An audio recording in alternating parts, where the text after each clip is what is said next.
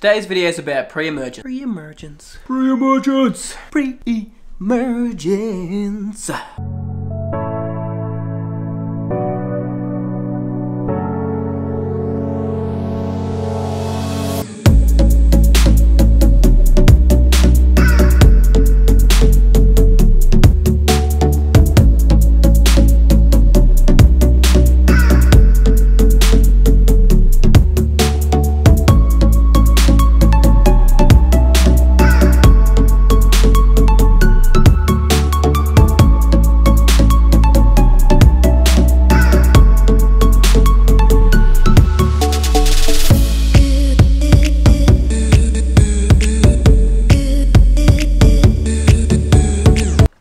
Yo mate, what up? Welcome to the lawn tip vid.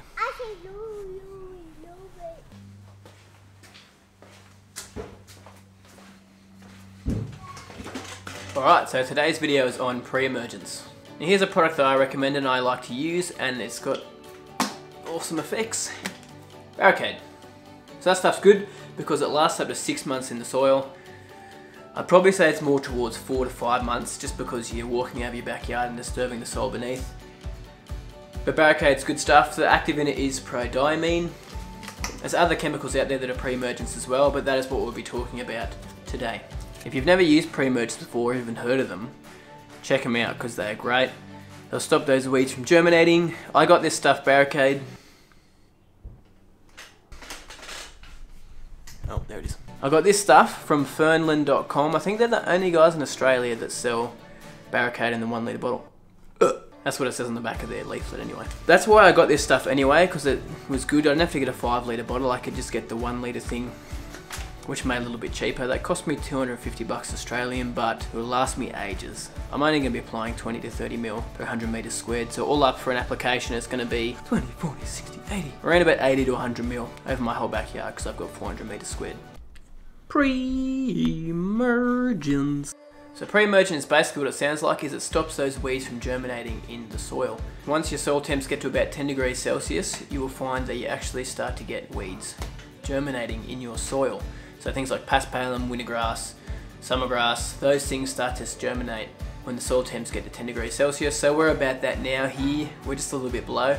So you want to apply it just before it hits that, or even when it hits that, you'll still be safe because they start to emerge a little bit after that.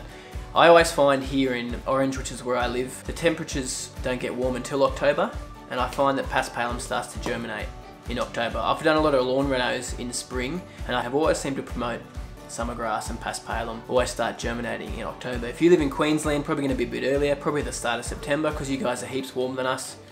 You're always a good 5 to 10 degrees above what we are in your day temps, so yeah. Mm, coffee. So pre-emergence are there basically to stop the weeds from actually germinating in your soil. So you use them on established lawns, you don't use it on newly seeded lawns within the last six months.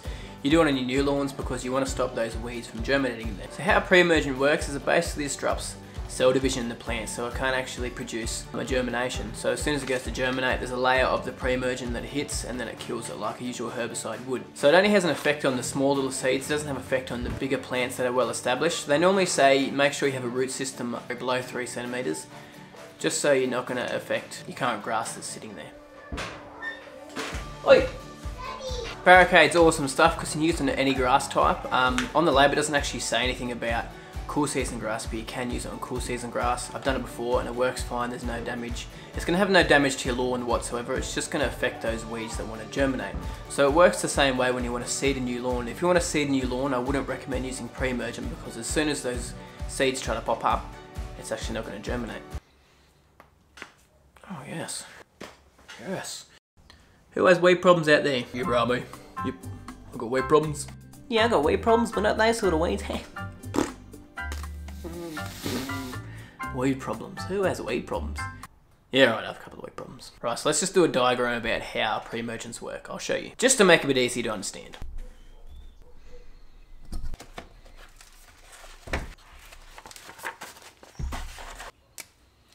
So, let's start off. So basically, what we've got here is some dirt.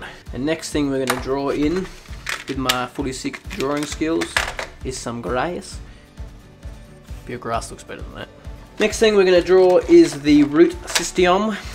So that's the root system of our good old grass seedies, or grass plants. And then next we're going to talk about our pre-emergent. So, let's just say we've got a little hand spray just here, backpack thing, and a little handle. Oh, man, I suck at drawing. Here's the person controlling it. Heaps good. And here is our little bit of spray. So what basically it does is once your spray is sitting down in there under the soil surface, you find that you have a lot of little weed seeds in your soil surface. These are our weed seeds for example. This layer just here is our pre-emergent. So what our pre-emergent does is it disrupts the cell division in your actual plant, sorry, in your actual weed seed from, from when it comes up and germinates, it actually kills it. So it just disrupts the cell division. That's why it doesn't actually affect these plants here, because it's affecting these newly formed plants and when they're trying to, trying to germinate and grow. So when you this pre-emergent, you water it in, and it sits down below the soil surface like it does just there. And basically any weed seeds that are sitting in that layer just there, they're going to stop germinating because you have hit it with that pre-emergent. Now over time, obviously this will start to wear away, four to six months, and you'll find they'll disappear. And that's why you have to keep reapplying it. Now you can only apply this stuff probably twice a year. You wouldn't want to go any over that. Things actually start to become resistant over time. You'll find not sometimes when you're next to places like paths, etc, etc, the actual residual in the soil there actually breaks down. This is such a sketchy drawing. Um, it breaks down, so you find sometimes along paths and places that get quite a bit warmer, um, your pre-emergent will break down a bit and you'll find that you'll see some weeds still coming through there now. The only way to really to stop that is you could reapply it, or the other thing you're going to do basically is pick him out by hand. You're going to be a tough bloke, because you probably won't get that many, so that's the best way to go about it.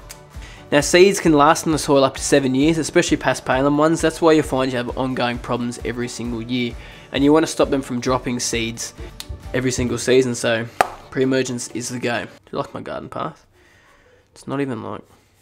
Anyway, that's bad.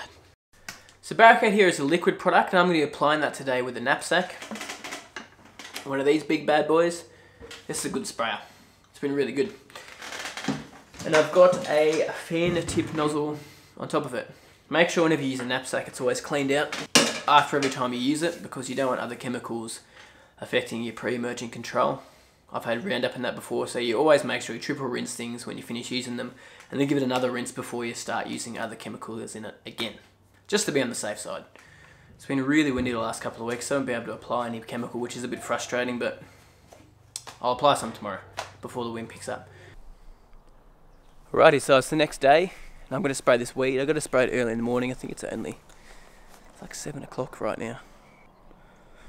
7.16 this morning. Bit of a nasty looking day, but let's go ahead and spray it. Alright, so we're going to fill up some chemical here. Make sure you fill it up three quarters full. So then you put your chemical in, then the rest of your water in after that.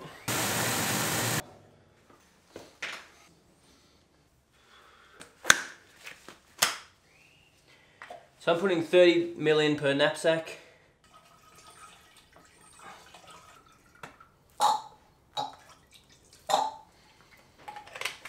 Because it is pre-emergent and it's so thick and sticky, it's going to need a really, really good mix.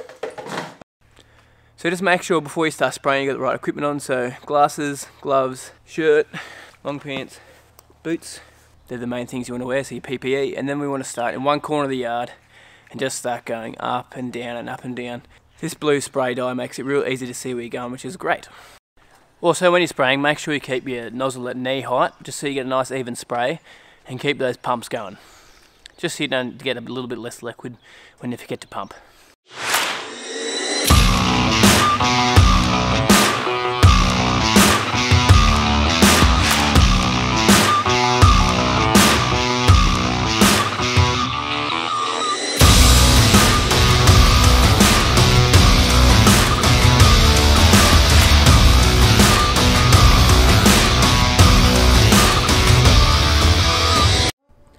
Alrighty, we're all done.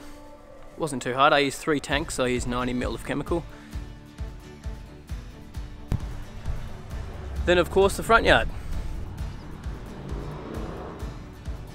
So my lawn actually needs a mow, but I won't be doing that for a couple of days. Just let that pre-emergent really sit in the soil and get down in there. I'll probably wait four or five days and then I'll mow my lawn. But yeah, quick easy way to do it. I just find I like using the knapsack more because I can get a more even coverage on everything. Find if I use one of those hand sprays it's hard to get out the correct amount because they chuck out quite a little bit of chemical at a time with the water so I just find knapsacks easier, a bit more reliable. Plus I've used it a few times. I know that it takes me, to get about 350 metres squared, it takes me about three tanks, which is why I've hit that much there. Also when you use this spray dye stuff, it's good because you can see where you're going, but it gets everywhere. So make sure you have a wash where your clothes when you finish because it does, I mean there's actually a bit of chemical on my pants as well, which is not good, so I'll have a shower straight after this. Last thing, make sure when you finish you water it in. So they say 6 mil of water, you can do it in the first 7 days, you don't have to do it straight afterwards. I'm just going to wait till it dries out and then I'm going to do it just so I don't forget. There's no predicted rainfall, so 6 millimeters of rain, just so you can get that chemical right in the soil surface. Thanks for watching guys, subscribe if you haven't already, comment below if you have any questions because I don't always cover every single thing in these videos.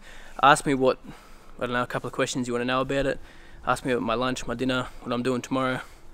Just chuck some questions down below if you like. Make sure you chuck a like down as well and you have a good week.